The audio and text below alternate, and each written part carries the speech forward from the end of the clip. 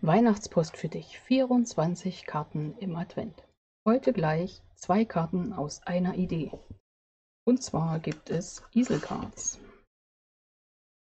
Und hier eine Twisted Easel Card. Ja, es wird geprägt und gestanzt. Und wie die beiden Karten entstanden sind, das zeige ich dir jetzt. Also bleib dran und sei gespannt.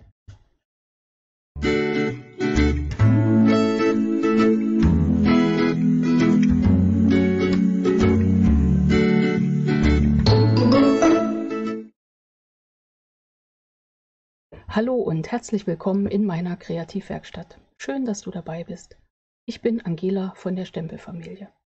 Und wir stürzen uns gleich mitten rein ins Vergnügen. Wir sind in der Reihe Weihnachtspost 24 Karten für dich. Das läuft wie folgt. Ich zeige dir im Lauf der nächsten Wochen insgesamt 24 Weihnachtskarten und du kannst eine davon gewinnen, indem du unter den Anleitungsvideos kommentierst, hast also mehrere Chancen in den Lostopf zu kommen und vielleicht bekommst du ja im Dezember Post von mir. Jo, es geht los. Heute wird gestanzt mit den Stanzformen bestickte Sterne. Außerdem geprägt. Ich habe die Prägeform Vintage Buchstaben, müsste sie heißen, verwendet. Und das Stempelset Momente der Ruhe und einen Wunsch aus Schneeflockenwünsche. Ja, arbeiten tue ich außerdem festgelegt schon in Grundweiß und Glutrot. Und es wird sich zwischendurch ergeben, ob mehr Abendblau oder Lodengrün dazu kommt. Schauen wir mal. Was brauchst du für die Karten? Anderthalb Blatt Farbkarton in Blutrot habe ich genommen. Und zwar ein Stück geschnitten auf 21 x 14,85 cm. Und das aus dem anderen Bogen ein Stück geschnitten auf 10,5 x 29,7 cm und zwei Auflagen. Mal sehen, ob ich sie irgendwo habe. Also zwei Felder in der Größe.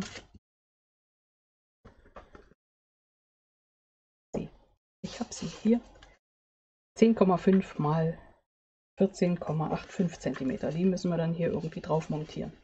Und ich habe mir gedacht, so Easelcard ist ja super und schicki, machen wir auch, aber zeige ich nur ganz kurz und würde mich dann gleich mit der gedrehten Dieselcard befassen. Und da bauen wir zwei Karten, die wir senkrecht aufstellen. Mal sehen, ob es klappt. Bin mir gerade nicht sicher. Eventuell wird auch eine quer gebaut. Das muss ich zwischendurch dann kurz mal überlegen. Ansonsten hier siehst du, habe ich mit Abendblau gearbeitet zu dem Blutrot und mit Anthrazitgrau. Hier auch, wobei hier weniger, doch da im Hintergrund ist ein bisschen gewischt in Abendblau. Ja, Gut, zwei Karten aus einer Idee. Das heißt wie folgt. Moment, ich mache hier mal Platz. Da geht's hin. Ja, für die Auflage zeige ich einfach mal.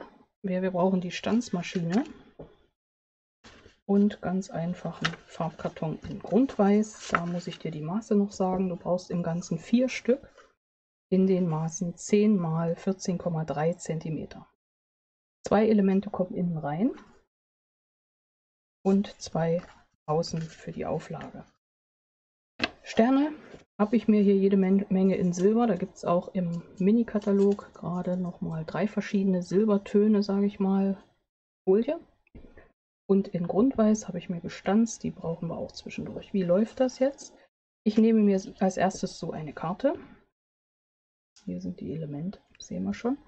Die Stanzform, ich habe die gerne auf solchen Schlüsselringen suche mir eine Form, wie ich das am besten schön anordnen möchte und lege das hier drauf. Wenn wir nachher was innen reinstempeln, so hier, kleiner Tipp, legt ihr ein extra dünnes Papier. Ich habe, weil ich es einfach für was anderes dachte noch zu brauchen, ein Pergament oben aufgelegt. Das brauchst du nachher, um die Stempelelemente da drin schön zu platzieren. Ja, aber ich mache das jetzt mal in der Übung nicht. Ich lege das so auf und dann sortiere ich mir hier meine Sterne auf dem Feld. So. Und so. Genau. Und würde das dann mal durch die Big Shot, durch die Stanzmaschine drehen. Das holen wir dann raus. Dann ist es gestanzt und dann kommt der nächste Schritt. Ich habe hier schon so fleißig vorgearbeitet, den ersten Schritt hier nicht gezeigt egal, der nächste Schritt ist dann, Und den machst du immer hinterher, nicht vorher, dass du die Stanzform nimmst, äh, die Prägeform nimmst und dein Element. Ich habe es dann wirklich komplett nochmal drin platziert, inklusive der Sternchen, wo ich jetzt schon wieder einen suchen muss. Und dann wird es eingelegt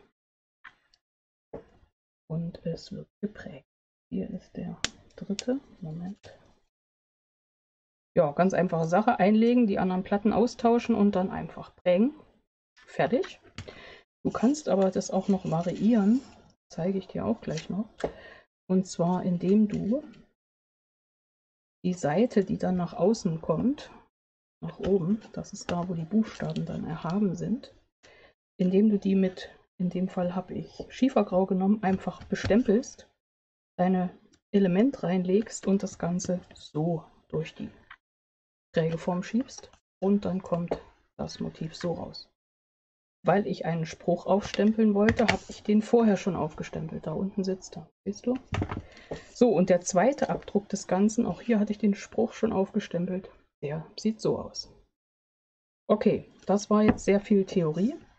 Hier wäre es das Ganze nochmal ohne irgendwelche Sprüche drauf ohne Farbe einfach geprägt. Ja, und jetzt können wir wählen, was wir nehmen. Du kannst mir ja hinterher sagen, ob ich das Richtige genommen habe. Und was bedeutet, wenn ich sage, eine Idee, zwei Karten. Das bedeutet, dass ich bei der einen Karte dieses Element verwende und bei der zweiten Karte die ausgestanzten Sterne. So, jetzt haben wir das. Jetzt müssen wir mal kurz entscheiden, welches wir nehmen. Ich nehme Tatsache mal dieses intensiv geprägt und gefärbte und eine Unterlage. Und dann habe ich ja gesagt, kann ich ganz einfach meine, mein Zwischenpapier nehmen. Ich gucke nochmal, ob das passt. Das passt genau drauf und das lege ich hier drauf. Und somit kann ich die richtigen Felder erwischen, wo ich jetzt meine Motive reinstelle. Okay, ich stempel mal zuerst das Haus setze ich hier großen Block und das Haus stempel ich in Anthrazit.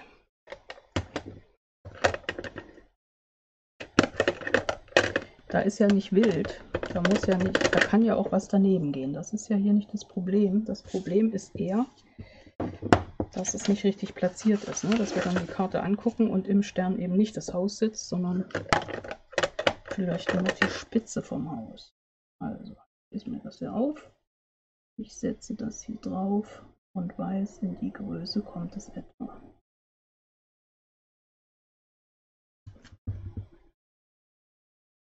So, jetzt kommt mein Motiv mal oben drauf. Wo ist es hier? Das sieht super aus. Das Haus ist genau da, wo ich es haben möchte. Perfekt. Es wird geputzt. Ich nehme nur ein Haus heute. Kommt in meine Kiste. Hier drüben. Und dann wollte ich da unten noch diesen schnucki kleinen, man sagte mir, es wäre ein Fuchs. Ein kleiner Fuchs, den will ich da unten noch in den Stern rein.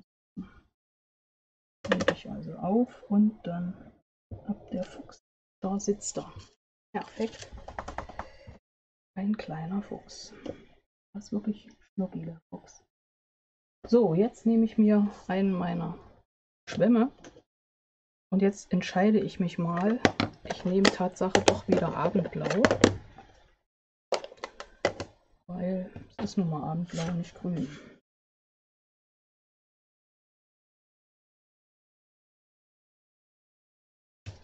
Wische mal hier.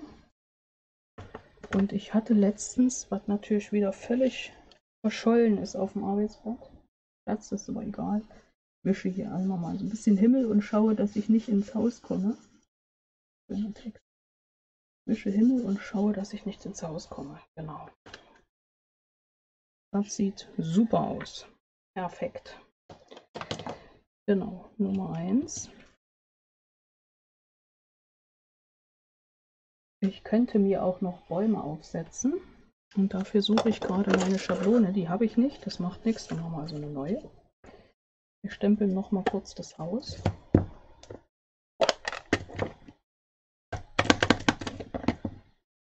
Geht's hin, da geht's hin. Siehst du gleich, wie ich mir eine Maskierschablone mache. Ist natürlich auch ganz simpel. Braucht man nur ein Scherchen, ein schönes Scherchen. Moment. Schneide ich mir hier mal grob aus. Unten ist nicht so dramatisch. Aber hier oben die Kanten gehe ich mal ganz genau an der Linie lang. Und dann kann ich nämlich, wenn ich möchte, hinter das Haus noch Bäume setzen. Und daneben auch.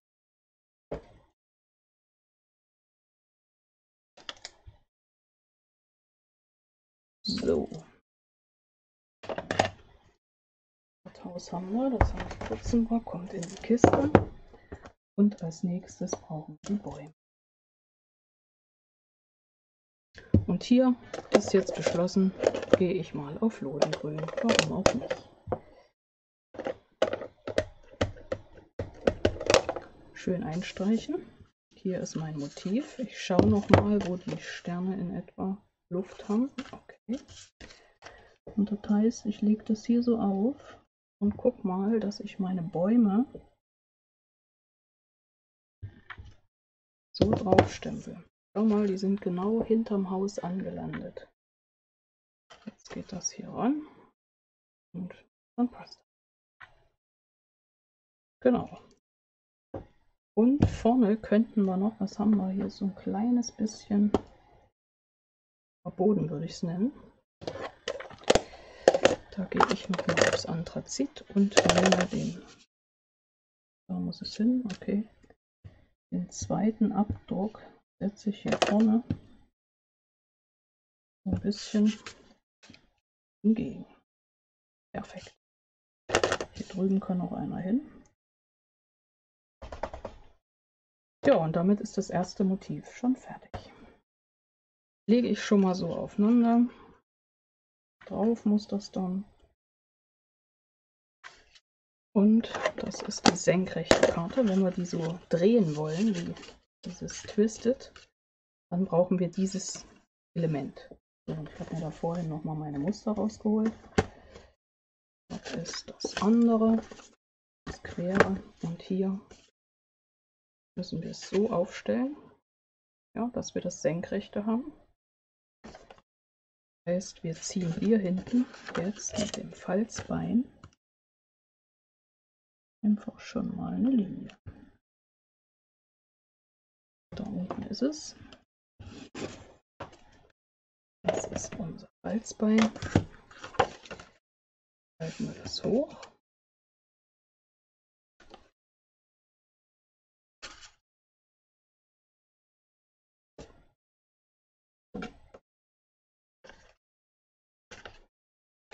Machen es wieder flach, legen das dahin und falten es nochmal in die andere Richtung. Hier muss es draufgeklebt werden. Damit uns das nicht verloren geht, wenn wir so schön drüber nachgedacht haben, werden wir das schon mal fixieren. Also ich klebe schon mal meine Klappe auf.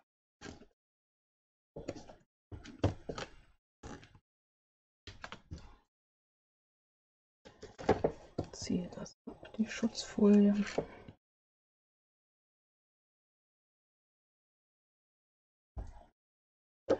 Und setze das hier sauber drauf. Ich fange mal gut da hinten an und schaue, ob das vorne genau glatt ist und streiche das fest und schon passt das. So muss das dann hin. Gut. Das Element haben wir. Hier habe ich mir vorhin überlegt, kommt hier an die Ecke eine Schleife. Machen wir auch schon. Rufe ich mal ein bisschen länger. Vorsichtig hin.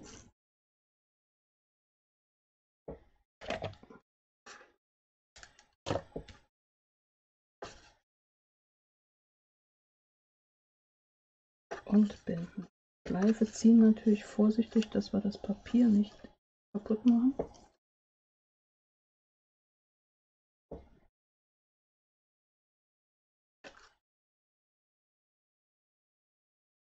Das haben wir auch schon. So, so auf und ein weißes für innen rein. Gut. Wollen wir es gleich schon weiter stempeln? Können wir eigentlich. Wir klappen das mal weg.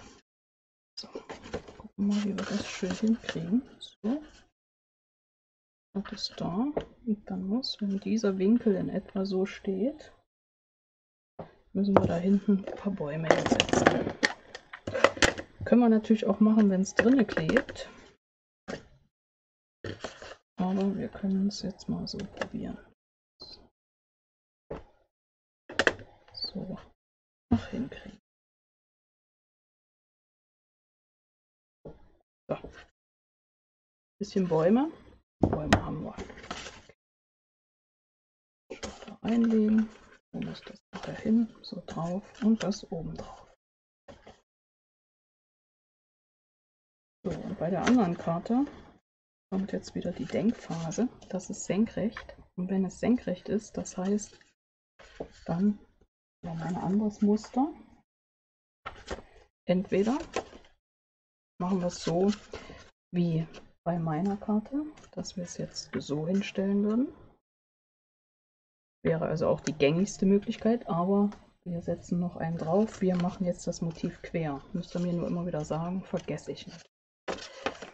Heißt, wir machen auch hier in die Karte hier rein, Diagonale. Jetzt hat es weggepackt, da kommt sie hin. halten wir nach unten. So. Und dann kommt das hier so quer drauf. Auch das kleben wir fest, weil wir es ja schon einmal uns überlegt haben.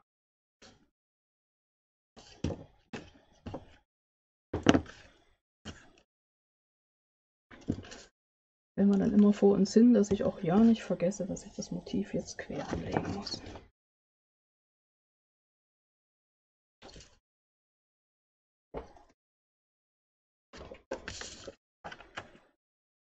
schauen, dass wir das komplett super gerade hier abdecken. Machen wir. So wird es hochgestellt und so schaut es dann aus. So, das heißt, wir nehmen uns jetzt das nächste Element, das ist dieses, und arbeiten praktisch quer. Dann nehmen wir uns das Bürstchen und legen das mal ein bisschen abendblau in den Hintergrund. Boah, kann man machen, ne? Bin nicht ganz sicher. Eigentlich muss ja ganz oben noch ein bisschen mehr sein. Ein bisschen mehr. Machen ruhig mal. So, dann noch mal das Lodengrün auf, die Bäume rausgeholt. Und dann setzen wir uns mal die Bäume. Vorhin überlegt, ob ich hier dann doch mal den großen Stern hinsetze.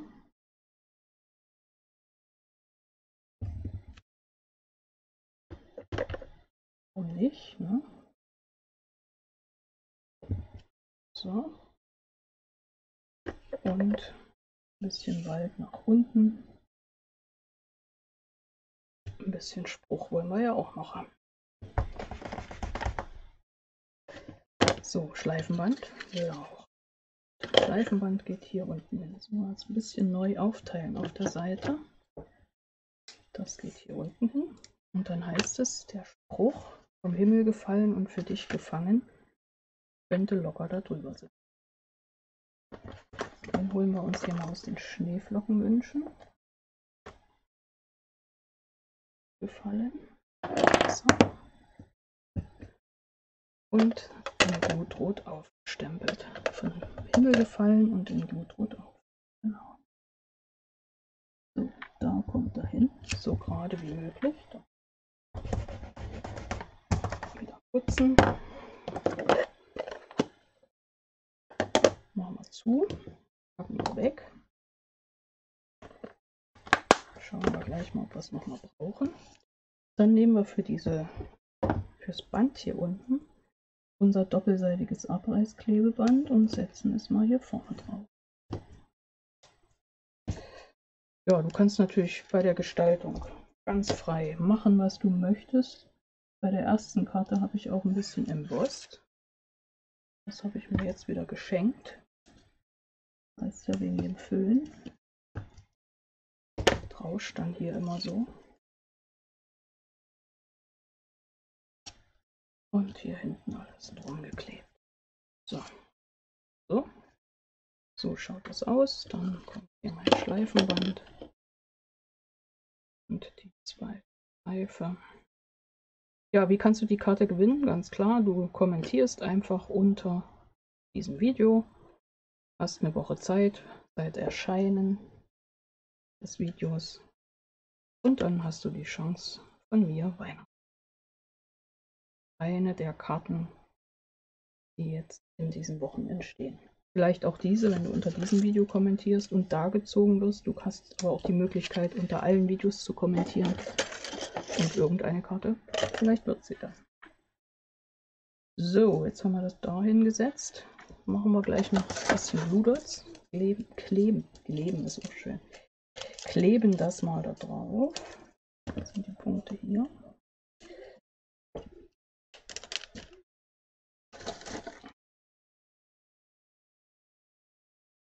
Das mal dahin schleifen, so dass immer der Text schön zu lesen ist. Moment, ein kleines Stück. So ist das super. Ja. So, Angelas Fehlern lernen, wenn du hinten was zum, zum Kleben hast, merke. So, dann kleben wir das hier drauf. Müssen wir noch das Schleifchen etwas abschneiden. Siehst wahrscheinlich die Schere wieder schneller als ich. So, und dann kommen wir ja zu unseren Sternen, die wir aus dem ersten Element ausgestanzt haben, mit oder ohne Schrift.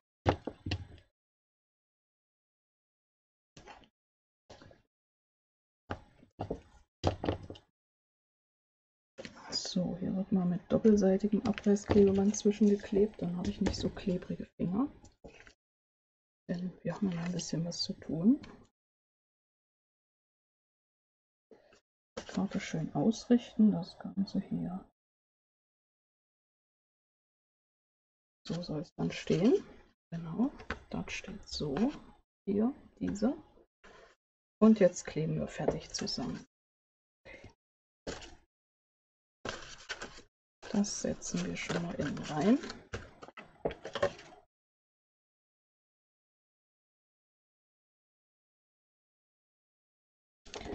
Moment, mein Flüssigkleber streikt. Oh nö, muss ja nicht, ne? Wir können auch anders. Dann nehmen wir halt das Band. So. Das ist deine Chance.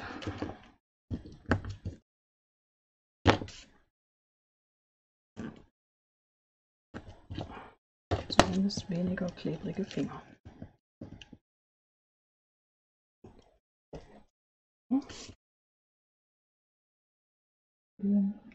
Mattung ausmitteln, unten reinkleben. So, dann kommt praktisch dieses Element auf.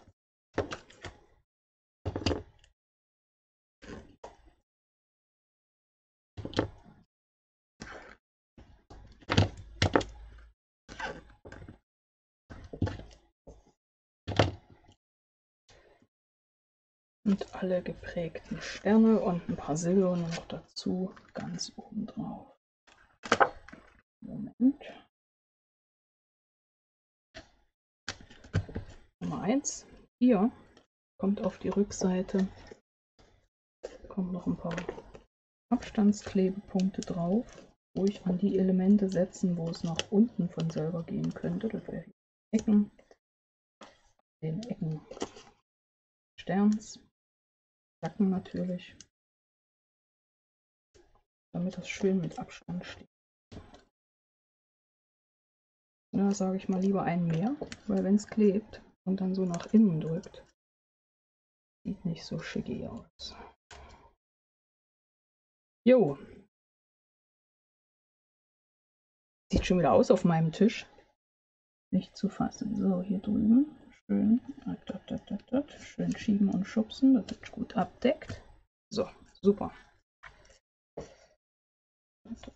So, das ist unser Schläfchen. Das geht hoch und das auch hoch. Gut, hier ist also schon ein bisschen Wald. Und jetzt nehmen wir zwei silberne, denn die machen sich hier bestimmt gut. Kleine Abstandsklebepunkte gehen auf die kleinsten Sterne der bestickten Sterne. Das wird meine Schräge. Geht dahin, Bild. Und der zweite geht dahin. Hält super. Jetzt gucken wir mal, ob wir den Spruch dahin kriegen. Und zwar ruhige Feiertage und Zeit zum Entspannen. Hier haben wir ja den anderen Text. Da nehmen wir uns einfach noch für dich. Da ist genug Platz für ein für dich. Genau. Und das geht auch in Blutrot drauf.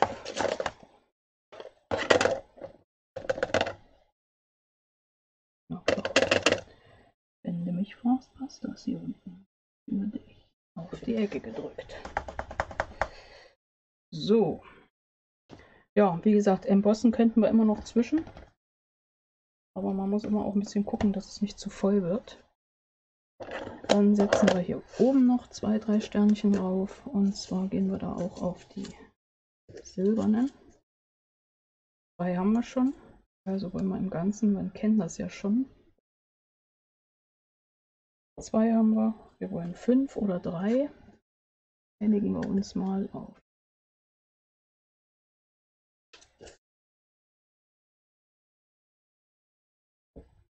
Fünf.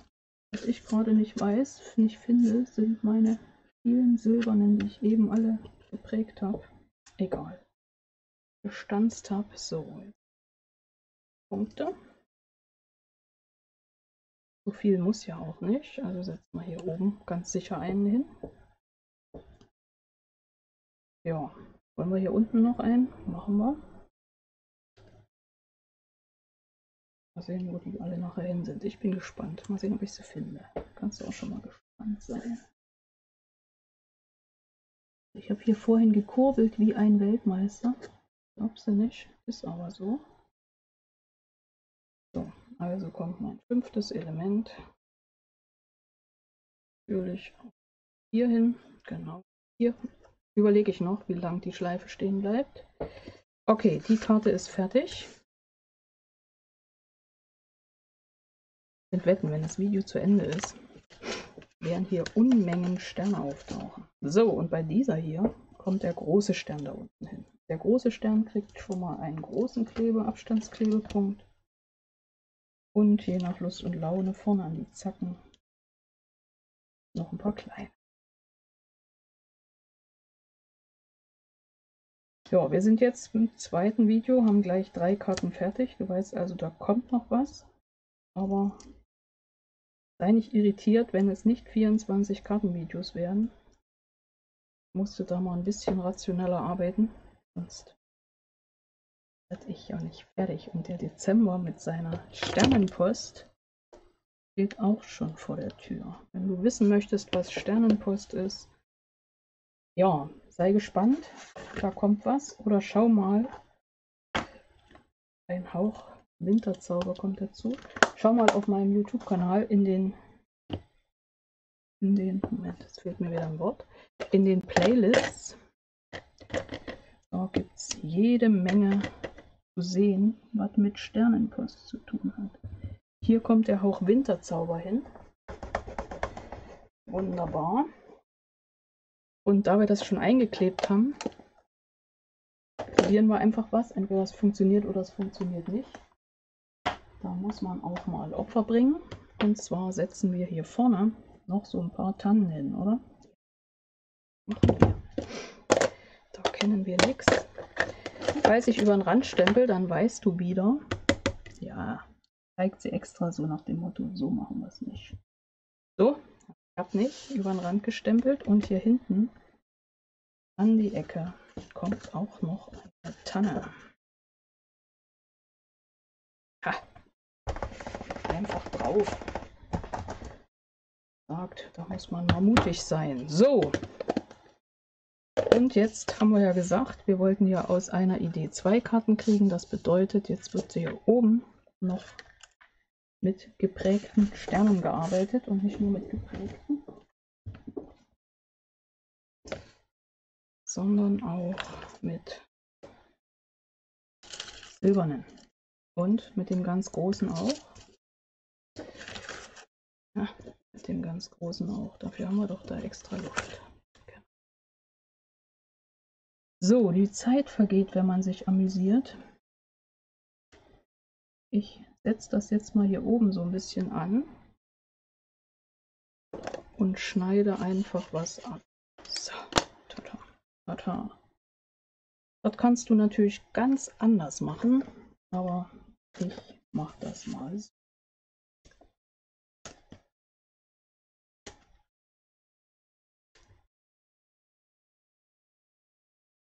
Der geht hier oben genau dran. So, dass er zwischen den... Nee, nee, nee, nee, nee, Moment.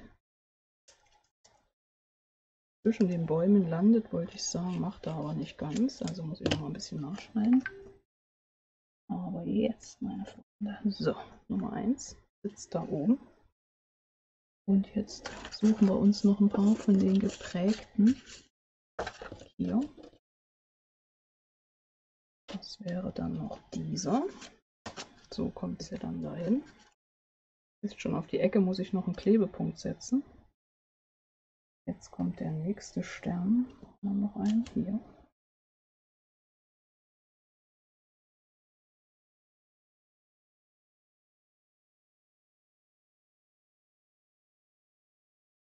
Der kommt dahin.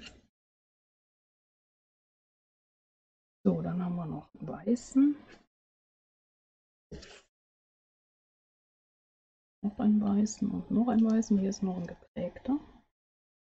Der geht hier mit der kleinen drauf. Das ist ja immer, wie die Zeit vergeht, wenn man sich amüsiert. So, der sitzt hier oben in der Ecke. Und jetzt ist der Moment, wo du dir vorstellen musst, wieder noch zwei silberne Sterne dazukommen, die hier gerade nicht da sind. Okay, so, wir legen jetzt mal alles beiseite, was wir nicht brauchen und stellen hier unsere Kartenparade hin. Wie gesagt, da kommen noch zwei silberne. Die haben sich verkrümelt. Vorhin habe ich extra alles vorbereitet, wie das immer so schön ist. Drehst dich um, ist alles weg. So. Hier, Sterne, Sterne hier eine Karte. Das ist die eine von den ersten gewesen. Die geht so. Das war auch eine von den ersten. Die ist so. Da hinten steht meine Weihnachtspost. Du weißt Bescheid. Hier drüben steht eine von den neuen. Leg sie jetzt mal so, aber du weißt, sie sieht so aus. Also ich finde das schicki, du. Die vom Himmel gefallen und für dich gefangen. Ein Hauch Winterzauber zum Weihnachtsfest. Also ist schon nicht schlecht, oder? Jetzt noch ein bisschen Silber rein. Weißt schon Bescheid, das wird nachgearbeitet. Nee, alles was ich hier habe sind weiße Sterne. Und dann haben wir, last but not least, das ist auch immer ein schönes Wort, auch mal, die zweite von heute. Und du weißt, zwei dieser Karten kannst du gewinnen. Ja, ich hoffe, dir hat mein Projekt gefallen. Ich räume hier schon mal so ein bisschen auf. Ne?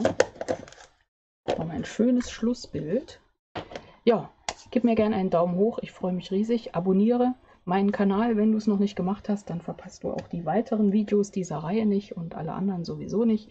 Schau dir gerne mal meine Schachtelparade an, die 24 Boxen für Adventskalender und sei schon gespannt, was da im Dezember startet und ansonsten, ja, mach einfach mit und gewinne eine meiner gebastelten Karten. Hier geht's weiter mit noch mehr Anleitungen, Tipps und Ideen, also bleib gern dran und sei gespannt, Vielleicht sehen wir uns ja gleich. Ich freue mich auf dich. Bis dahin, deine Angela von der Stempelfamilie.